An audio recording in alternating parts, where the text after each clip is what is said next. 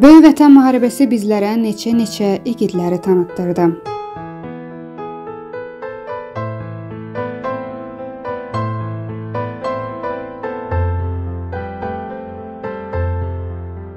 Onlardan biri də 1998-ci ilin iyul ayının 18-də Ağstafa rayonunun Vurğun qəsəbəsində dünyaya göz açmış Fazil Rasimoğlu Məmmədlidir.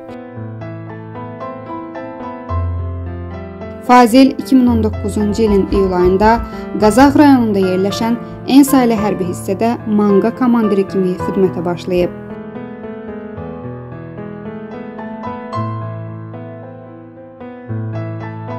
2020-ci ilin iyul ayında snayperçi kimi xüsusi qrupda xidmət edib.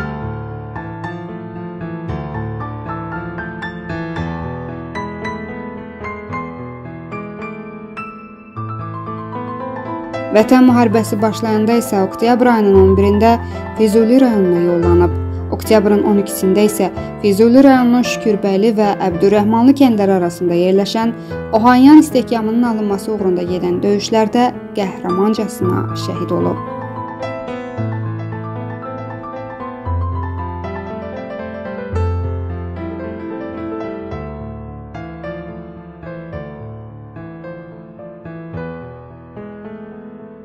Onun son sözü də "Ata, inşallah gələndə görüşərik. Sizin alnınızdan öpürəm" olub. Məkanın behişt olsun vətən oğlu.